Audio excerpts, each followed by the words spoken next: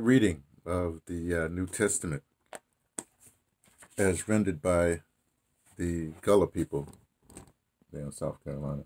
My people, it's on my mother's side. And this is a reading, of course, the New Testament of the Holy Bible. Um, we just go to any page. Let's do Matthew. Why not? Matthew, uh, I need my glasses. Would be good. Uh, I can read. See, because here what they do is they have uh, they have the old English, you know, Shakespeare, Marlowe kind of language, the, with the New Testament is written well, passed down in, and then you have here's you have the Gullah in a larger, little larger type, and so we'll read from uh, Matthew one, Matthew tw- Matthew twenty seven, page uh, one thirteen, and just go down to uh, let's do uh sixty two. The next day, upon the worship day, the leader them of the priests, them and the Pharisees, them gone to Pilate. Okay, and that translation is uh, now the next day, the that following the day of the preparation, the chief priests and Pharisees came together unto Pilate Oh, they plotting. I know I should. Oh, I read these. Uh, I should explain. This is this is Saturday. This is a Saturday. Saturday. I explain the set and explain what I'm doing. Um. And you know what? Maybe if the reason I'm reading is just to get a hold of the of the, of the Gullah culture. Um. You know my culture kind of thing, and um. So that's it's merely an exercise that I basically do every day, except for Sunday. Sundays is when uh, we go to the scripture book from Mr. Neely Fuller Jr. Uh, that's our scripture book. This is, well, this is the Holy Bible. It was the Gullah Bible. Um, and so, um, and so I, I wanted just to get a grasp of, you know, how these newly freed people, my peoples, how they became literate so quickly, you know. And of course, the only book they had was the Holy Bible. And so they used that. And so they use it so much, I guess they came up with an interpretation themselves or a translation themselves for their language because uh, Gullah is a, is a language. They call it Creole language, but it's still a language and it's, it's spoken in the Sea Islands, well, down South Carolina, the, the top of Florida, Georgia. And then it changes, you know, well, it changes, but the language sort of changes when it goes to like New Orleans, all the islands and on down to the Garifuna languages, you know, they just all uh, their languages. Um, and so so every every Saturday I, I I I read it and I explain the set to you. So let me maybe we, usually read twice. So let me let me do this a second time. The voice you hear that's my uh, grand nephew. I'm going to take him out in a little while. Okay, here we go. Um, that would be uh, Matthew twenty seven sixty two. Now the next day, oh sorry, I'm reading the interpretation. Usually read the, the thing first. Here we go. The next day upon the worship day the leader them of the priests, them and the Pharisees, done gone to Pilate. And the interpretation, uh, well, that's their way of saying it. Here's the way the King James peoples said it. Now the next day, that following the day of the preparations, the chief priests and Pharisees came together unto Pilate. So that's that's what it reads reads like. Okay. Uh, so real real quick, I'll show you some. Uh, maybe I won't show you. I'll, I'll tell you how to say. Um, uh, and so what I usually or what I wear, what I wear, I read. Of course, I read from the Gullah Bible. I got to get another. Before I leave, I'm gonna. I'm gonna get another one. I might leave one here and bring one with me to South Africa. We'll see what happens. Um, oh, by the way, I live in South Africa, so when I do go, then sometimes I'll riff a lot of them off one time while I'm traveling, so I won't miss a day, you know, because YouTube lets you do what it does. Uh, and I wear the hat. This is a so goon cap. Uh, it's a it's a it's a when I I'll, well I'll explain Ogun right now. Uh, it's green, and then the reversible side is black, and then this red star comes through both, so it's like a bit of red. So Ogun's colors in uh, North America, Ogun, oh, book well.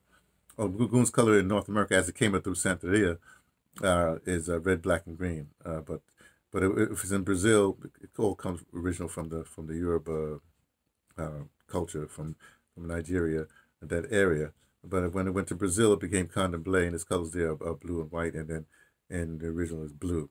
So for some reason, red, black, and green, which happens to also be, or red, black, and green also happens to be the colors of the Marcus Garvey movement uh, for, um, uh, I guess it's Pan Africanists. They're, they're, Pan African uh, colors, right? Um, so I wear, but I wear it like this because it looks more ecumenical, you know, like that. And uh, and this kente cloth comes from uh, someplace I forgot where. I think it's Ghana. I'm not really sure, but uh, there's all kinds of kente cloth uh, things. It's just the, the, patterns that they use. So I I use this as a ecumenical cloth, right? And over here, then you have my pictures of back up there. That's that's that, that one up there.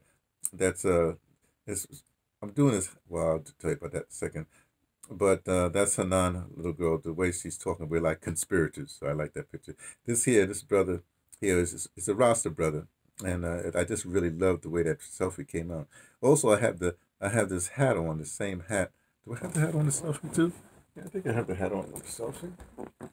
Yeah, that's right. Because I have the hat, I started a hat series. I also have the hat on here, the same hat on here with my wife. Uh, she's the one that made the hat. It's a reversible hat. Oh, these are just we. I call them three cats in Cape Town. It's like uh, this is Sikalela, you know, this is me, and uh, this is uh, Ian. Ian is, is the father of this little girl here.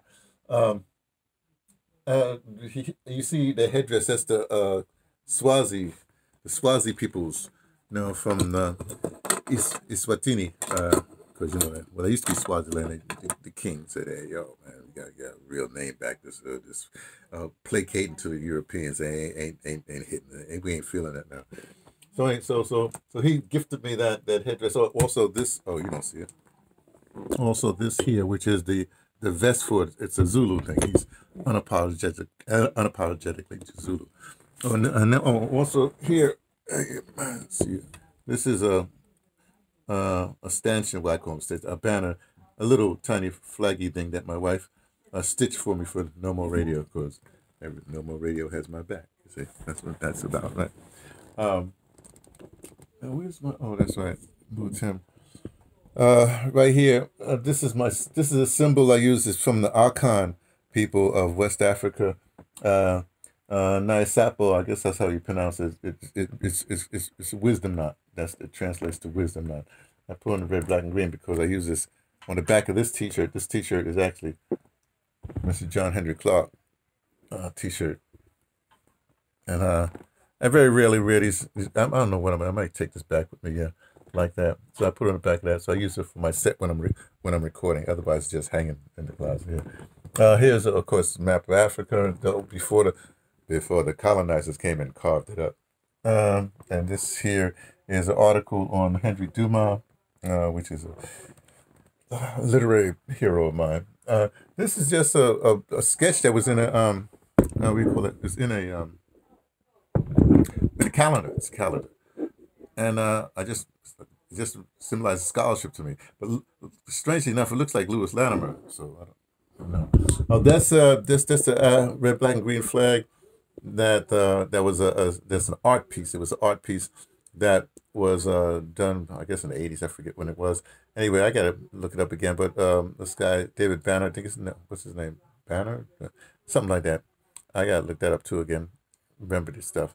But uh, it's just an art piece, but it's become popular some places. In fact, I saw LeBron James wearing a, a, a t-shirt with that on there. I have an idea, like from, from January to to May, uh, we should all we should you know sport that that T-shirt like every week, once a week on like a Monday or something like or Thursday. I don't know. Um, and call that a, a Consciousness Day. You, uh, well, not get, get ahead myself because it's the American flag over there. That there, that picture on the wall. That's uh, that's the cover page for my the cover photo for my resume.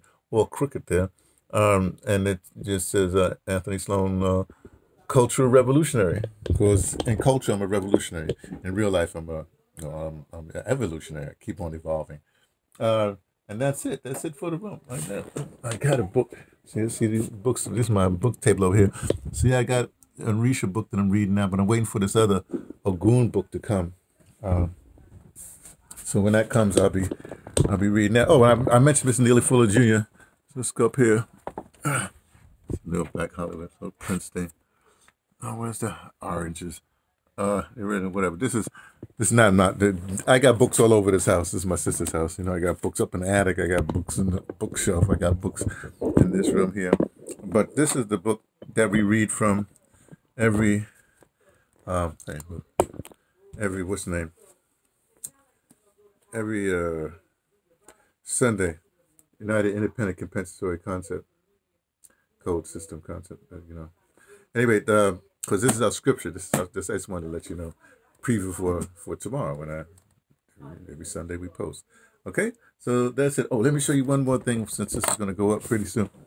I do my walk every morning, and in this particular walk, this last morning, I ran into this sister here. She's going for city council. Now, when they when they say vote, they always they always tell you about um, voting. How do you say? Voting. Let me put up here so you can see the sister uh, you know, voting for the big peoples and like that. But you know, local voting, if especially now, if you're in Chesapeake, uh, let me just say, support the sister. I don't know nothing about her. I just, I, I was walking, they were canvassing, they gave me this, and so now I'm just spreading the word. So if you're a voter in Chesapeake, this is the woman. This is just the woman here right now, Santetta Brown Yearling, um, and um, she seemed affable, affable, whatever enough, and so. Um, so I'll, I'll find out about her politics afterwards.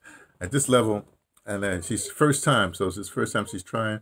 So I'd rather give the first time people a shot rather than the old, old people that I don't know what they done did there. I don't know. I'm, I'm not well, you know. I'm, I'm most of the year I'm in, I'm in South Africa, so there there's the thing. But I vote here. Hey, I'm always here for elections. I love voting. Voting's my thing. Oh, by the way, I don't call voting voting. It's polling to me. I don't expect the, the, the, the winners of whatever to do my bidding. I expect them to be bought out. Not not in this level, local level. I'm talking about, you know, maybe they've saturated down to this local level. Who knows? I'm talking about the big boys. So I, I, I just see it as a poll, like um, this is how I feel. A lot of times I write stuff in. Like I write Mr. Neely Fuller Jr. in um his website, I write producejustice.com. I think I think this one I'll use that. See whatever else is going on, I might write in like reparations and then at the S put a dollar sign reparations. That's I know that's when we're doing a yeah when the well we, do we already have our Congress? Yeah, we already had that. We had no, no this is the Congress. Of, I don't know.